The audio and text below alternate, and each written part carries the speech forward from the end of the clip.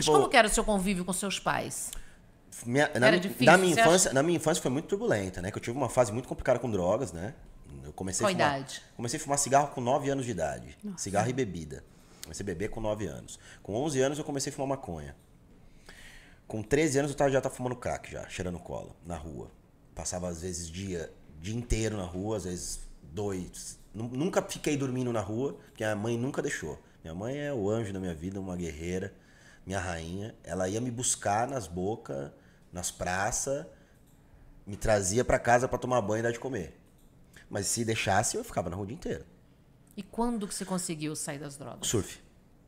No dia que eu pisei na prancha pela primeira vez, eu rasguei o maço de cigarro e falei, não quero mais isso, cara. É isso que eu quero pra minha vida. Nunca mais, agora acabou. Achei, é isso, vou fazer isso.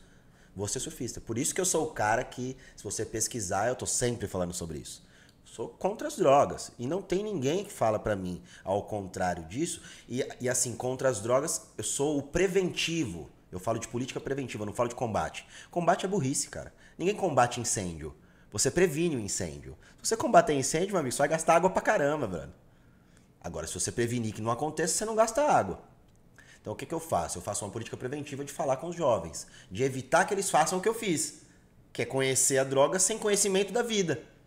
Você não sabe ainda o que, é pra você, o que, não é. Você não consegue dosar quantas doses de, de, de, de remédio você tem que tomar. Uma criança não sabe isso.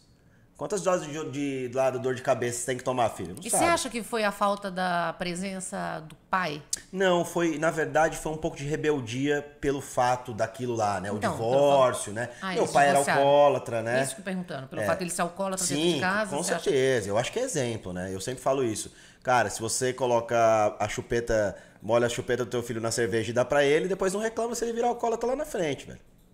Tudo, toda ação tem uma consequência. Esse é o meu modo de ver a vida, né? E por que, que eu falo isso? Porque eu experimentei tudo. Não existe nada que eu não usei. Então, pra uma pessoa falar pra mim, já usei. Ah, aquela. Já usei também. Já usei também. Crack, ah, já usei crack também. A cracolândia não existe por causa que o cara fuma crack. Ele- nenhum, ca- nenhum cara que tá na cracolândia começou usando crack. Ele começou fumando cigarro e bebida, pode procurar. É a lícita, que ele foi comprar lá quando era jovem. Não foi a ilícita. E Então, você convive com seu pai hoje? meu pai faleceu, Faleceu. convivi com meu pai. Meu pai, ele. A gente tem uma história muito incrível na família. Meu pai se divorciou da minha mãe, abandonou a gente muito cedo, com 8 anos de idade. Foi embora, 8 para 9 anos, não me recordo certo. Foi embora, passei 8 anos sem ver meu pai.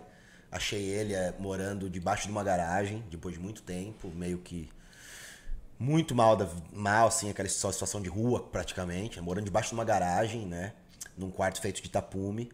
E aí foi quando eu vi, eu falei, cara, eu preciso fazer alguma coisa, cara. Deus ensina que a gente tem que honrar o pai e mãe, né? E eu passei por tudo aquilo de orgulho, Sim. né, das dificuldades, Superar, né? das prensas e das brigas e das coisas ruins que eu já tinha visto, pra trazer ele de volta. Meus pais ficaram 13 anos divorciados.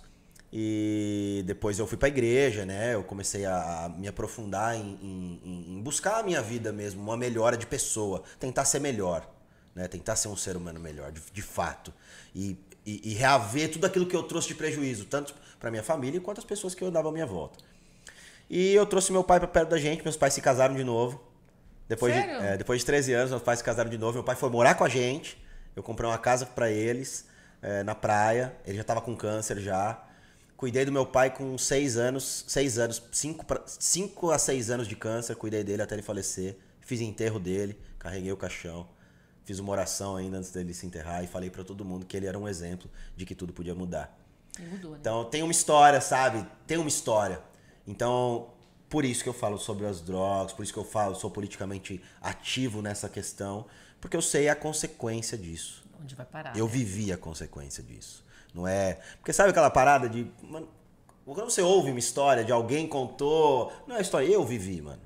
Então, Provar a dor é, é muito aqui, tá diferente, aqui, ó. né? É, saber eu o quanto passei dói, na pele, né? eu sei quanto dói é, você querer parar de usar droga e não conseguir. Não consegui. Eu fumava maconha numa época da minha vida chorando. Eu fumava chorando de soluçar e pedindo pra Deus, pelo amor de Deus, pra parar. E o esporte E o esporte te que fez isso.